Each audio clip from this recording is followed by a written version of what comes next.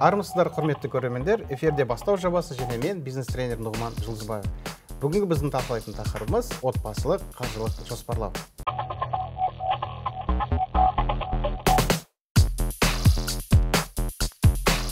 Бізді байлыққа қаржылық тәуелсіздікке бастайтын жол ол отбасылық қаржылық жоспарлаудан басталады. Қаржылық жоспарлау болу үшін құру үшін ең алдымен адам қаржылық жағынан сауатты болу керек. Қаржылық сауаттылық деп отырғанымыз бұл қаржы жөніндегі тиімді шешім қабылдауға жәрдем беретін білім мен дағдыларды айтамыз. Кез келген адам әрбір адам жақсы киінгісі жақсы көлік жүргізгісі кең үйде тұрғысы мысалы балаларына жақсы білім бергісі келеді. Осының барлығына қаншама ақша керек. Атақты роберт киосакидің айтуы бойынша негізгі бизнесте ең маңызды ол ақша ағыны. Мысалы бай адамдар ақша ағынын бақылай алады сондықтан олар бай. Ал кедей адамдар оны істей алмағандықтан кедей деп атайды.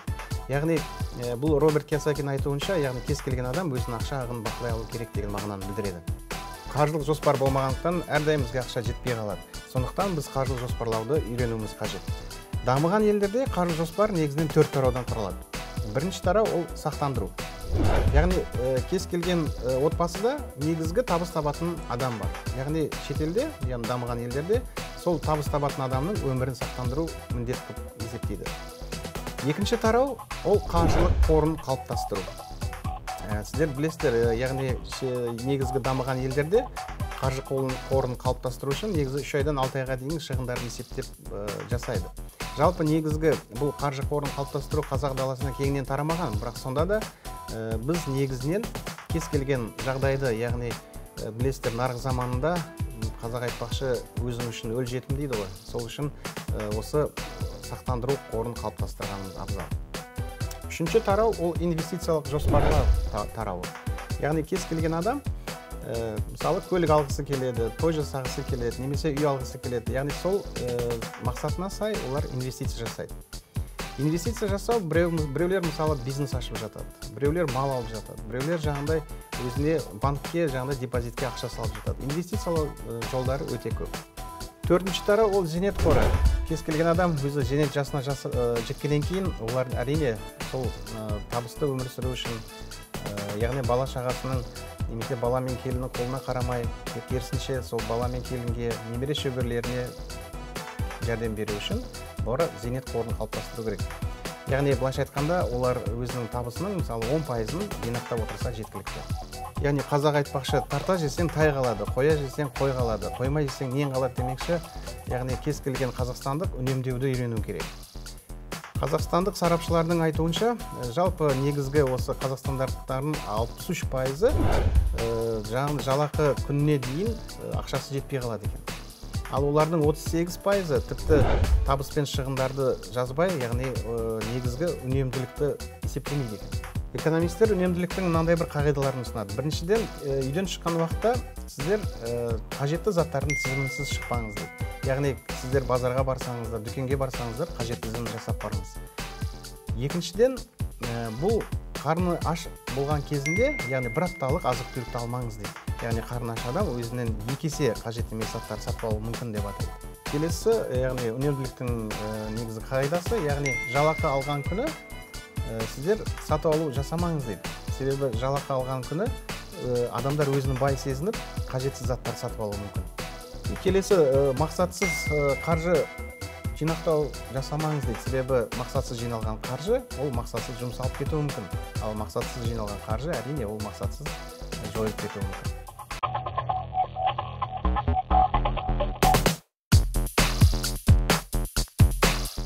Енді отбасылық қаржылық жоспарлау тоқталайық. Отбасылық қаржылық жоспарлаудың екі түрі бар. Ол бірінші яғни қысқа мерзімді жоспарлау әдетте бір айға жасалады. Және екінші ұзақ мерзімді жоспарлау яғни бір жылдан бастап бірнеше жылға жоспарлау жасалады.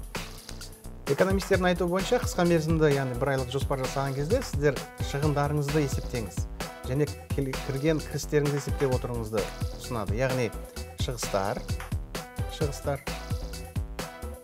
Бір айда кететін шығыстарыңызды және сол бір айда келіп түсетін кірістеріңізді яғни түсімдеріңізді есептеп жазып отырғандарыңыз абзал. Сонда сіздер ә, қаншалықты бір айда түсіп отыратын шығыстарыңызды біле аласыздар және қосымша ә, қаншалықты бір айда түсетін түсімдеріңізді біле аласыздар? Егер де сіздердің шығыстарыңыз түсімнен асып кететін болса онда сіздер ә, отбасылық бюджетіңізді қайта қарастырыңыздар. Мүмкін кейбір шығыстар артық болар. Немесе ә, сол заттарды біз арзанырақ алу қажет болады немесе ә, сол қосымша түсім көздерін кіріс көздерін қарастыруымыз керек. Яғни ол үшін қосымша бизнес көзін ашу қосымша яғни түсім көздерін біз іздестіруіміз қажет. Сонымен біз сіздерге отбасылық қаржылық жоспарлаудың негізгі бір кеңестерін атап өтейік. Ол біріншіден сіздердің ә, негізгі үш ай бойы үш ай бойы осы отбасылық бюджетіңізді есептеңіз. Сол егер де сіз бекіткен отбасылық бюджет бойынша сол шығыстарыңызды жасайтын болсаңыз сіз белгілі бір қаржылық тәртіпке үйренесіз. Екіншіден екіншіден ол жалпы осы сіздердің қаржылық табыстарыңыздан 10 пайызын жинақтап отыру. Егер де он пайызын жинақтап отыратын болсаңыздар яғни сол қаражат арқылы белгілі бір іске инвестиция жасауыңызға белгілі бір ә, қымбат зат сатып алуыңызға сіздерге мүмкіндік туа бастайды. Үшінші бір тағы бір кеңес ә, сіздің түскен табысыңыздан табысыңыздан алынатын несие көлемі 30 пайыздан аспауы тиіс. Яғни сіз несиені алар бұрын ә, сол несиені қайтару мүмкіндігіңіз болған жағдайда ғана біз несие алып және ол табысыңыздан 30 пайыздан аспауы тиіс.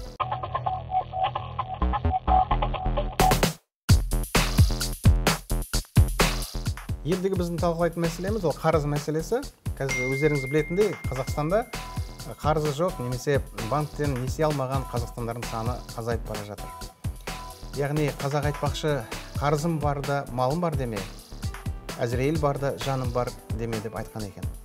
Мамандар қарыздан құтылудың бірнеше жолдарын ұсынады. Ол біріншіден отбасылық бюджетіңізді қараңыз дейді. Яғни артық шығындарыңызды алып тастаңыз.